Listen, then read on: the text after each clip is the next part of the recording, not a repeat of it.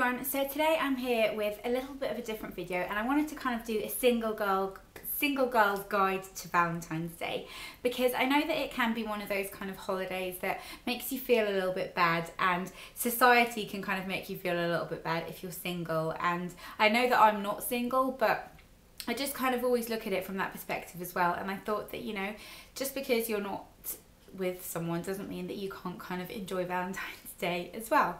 So, depending on um, your personal situation, I just kind of want to put it out there before I get into the kind of beauty aspect of this video that, you know, being single, there's nothing wrong with that. And as amazing as men are, they can also be so infuriating. And you will meet someone when the time is right and you will be, you know, very happy.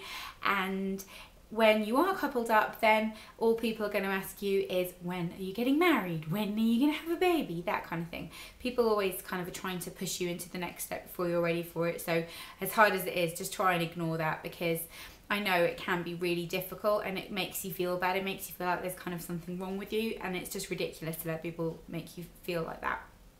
So, what um, plans have you got this Valentine's Day? Now, when I was single, I used to usually do something with my girlfriends. We'd normally go out to dinner and go out to the movies or something like that, and it was always really fun. And then I also really like a good pamper night just to myself because that's kind of my me time. I do have a boyfriend. Um, we have been together for like six and a half years now, and um, I had to think a minute. it's been that long but I definitely like you know have regular pamper nights, lock the bathroom door, and it's just me time. So I'm going to talk you through a little bit of tips and things like that. But um, if you are going out, you can do some of these things before you go out, just to kind of give yourself a little bit, a little bit of a boost. You might think this sounds really superficial, but obviously this is a beauty channel. I love beauty, and it is what makes me feel kind of happy. But you know, if anything that makes you feel happy. I don't know, playing the Xbox, whatever it may be. This is just what makes me happy. So, first things first, I wanted to talk about the fact that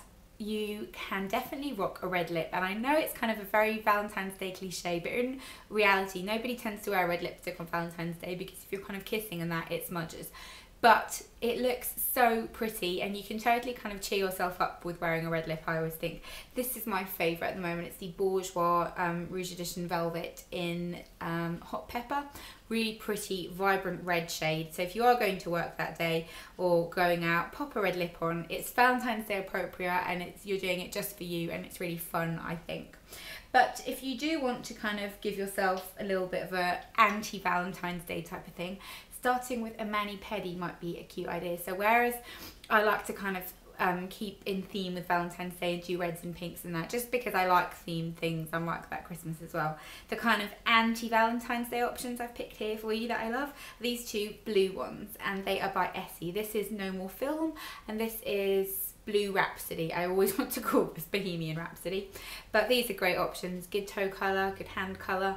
Really, really pretty. And you can just kind of still make yourself feel nice and girly and like you've got lovely nails without going for the kind of cliched red. Then if you're having a pamper night, my pamper nights are quite scheduled they happen on a Wednesday and a Saturday. Occasionally I'll move them.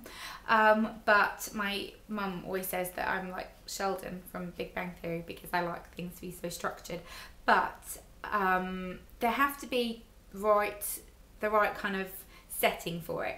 So I will save YouTube videos. This sounds really pathetic, but it's the truth. I will save YouTube videos that are longer that I want to watch. Usually nine times out of 10, they're Lisa Lisa D1's videos because she makes about half an hour videos.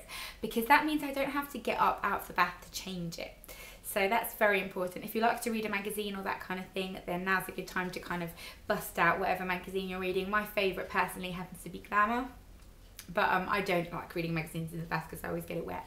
But start filling your bath, and these are really, really great. This range from the Body Shop's the Smoky Poppy range, and these are the bath bombs. And I used one of these last night. They're really cool. They kind of fizzle and they make your water really milky, and they've got bits of kind of poppy seed inside them, so you kind of get it in the bath. It is a little bit messy though, but it smells really, really nice. So do that, and then once you're in the bath, giving yourself a kind of mini facial, I think is really, really fun and pampering. So starting off using a cream cleanser is what I like to do. This is the Sanctuary Polishing Hot Cloth Cleanser. I'll put this on my hands. Smooth it all over, rinse it off with a muslin cloth, and it's just kind of a bit more of a luxurious cleanse than your everyday cleanse. And then I will go in with an exfoliator. Now I've got two here, a manual one and a not manual. and a not manual one, I'm so articulate. Um, this is the Monu Micro Exfoliant. This one's got small grains in it, but it's not harsh. It just really brightens up the skin. And then the Sanctuary Leave-On Exfoliating Cream. I'm not being sponsored by the Sanctuary. I just really like their products for kind of pampering sessions. And you pop this all over the skin. It's got a little pump, and it just helps to kind of rejuvenate everything. And then for face masks, I have been using this one a lot recently, and it's the Lush mask of Magnaminty. This is really nice if you have got problem skin. I haven't, I just like it. Um, and then if you want something moisturising, the N-Spa Replenishing Moisture Mask. Or if you're really out there, and this is what I do sometimes, use this one first and then use this one and your skin will feel so balanced and clean. It's kind of, this is what to do if you've got, you know, a lot of time in your hands in the bath, but I like it. And then for kind of moisturising your face after you get out, these are my favourite. And I love using an oil on my face. I don't use it every week, but kind of twice a week on Pamper Nights I definitely do. And this is a really luxurious one. Use your nice products. You know, you're kind of here to make yourself feel special. You don't need someone else to make yourself feel special. And this is the Aromatherapy Associates one. You can see I've used a little, quite a bit of this already couple of pumps, massage, give your face a really lovely massage and it'll be amazing. And then for moisturising all over, I'll let that sink in and then I pop a moisturiser on just because I really like to pamper my skin. If that's enough for you, then you don't need to bother. But the Organic Surge Blissful Daily Moisturiser, this is a great night cream if you've got oily skin.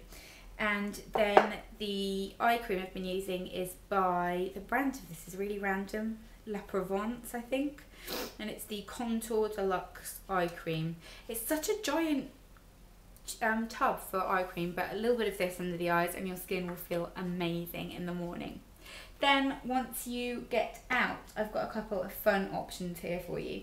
The first two are from the Body Shop. If you just kind of plan on staying in, put, putting your comfy PJs on and just relaxing, um, these are great, but they're great if you want to go out as well because the scent's really lovely. The Smoky Poppy Body Butter and the Smoky Poppy Massage Oil. These are all kind of new additions to the Body Shop and they smell amazing. I've been using the body butter kind of most evenings and it just smells so nice. And the matching perfume of that is really lovely as well actually. I've got that here. Oh, sorry, no, it's not the matching perfume. This is the Red Musk. I thought it was the matching perfume because the packaging looks quite similar, but this is really lovely as well. So I'll pop on a little bit of this for you. And then you kind of feel really lovely. I always feel that scent makes you feel so much more kind of vibrant and sexy. I just, I'm obsessed with perfume, you know that. So if you're going out, they're really lovely options as well. But if you're definitely staying in, then doing a little bit of tanning, I think is fun because then you'll wake up in the morning and you'll just feel kind of really golden and glowy and amazing. My favourite's the Cocoa Brown Tan at the moment. I love this, you know, I have loved this for a very long time. And um, you only need to leave it on for three hours, so you can kind of just pop it on. Leave it for a little bit to get the maximum colour three hours. You could only leave it on for an hour if you wanted to. Rinse it off and you'll look really glowy. And then the question comes, what do you do? So if you're on your own and you're not planning on going out, then get yourself something really nice to eat. I personally would propose takeout because having to cook for yourself can be a little bit depressing. Um, so get takeout or even if you just get a ready meal, some of them are really nice. The Marks and Spencer's butternut squash lasagna is my absolute favourite. I kind of don't buy it very often because it's very delicious and fattening, but that's very, very good. And then decide what you're going to do. Maybe you want to do some reading, maybe you want to watch a movie. Watching movies is always really fun. Don't pick kind of something that's like an obvious Valentine's Day choice, like rom coms and that kind of thing, which to be honest don't tend to be my type of film anyway. Um, I like quite serious films. We always joke that I like films about missing people. it's kind of my slightly morbid side but pick a really nice film to watch. You know, it doesn't have to be something um, completely unromantic. You know, it can be still something like my all-time favourites, Breakfast at Tiffany's and Dirty Dancing. They're my two all-time favourite films, but they're not kind of a classic rom-com. Dirty Dancing's kind of a very girly film, I suppose. But they're great options if you do want to kind of have a little bit of romance. But if not, then watch something, you know, like crime drama, that kind of thing, they're the ones I tend to like. Or if you like horrors, that might be fun. Just to kind of do something a little bit different and don't let yourself feel depressed. Don't let yourself feel like, you know, you're miserable because you haven't got a boyfriend because who cares? It's not the end of the world at all. You're still amazing and you still have an amazing life. And when it's time, then it will be time and you don't have to kind of stress over it.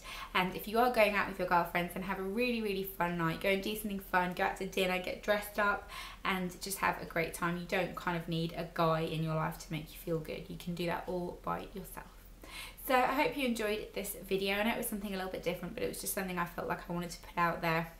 Let me know what you'll be doing this Valentine's Day if you are single. I know a lot of people are always like, oh, I'm going to go and cry in the corner. Don't go and cry in the corner. There's nothing wrong. It's, you know, it's just, a, it's not even a proper holiday.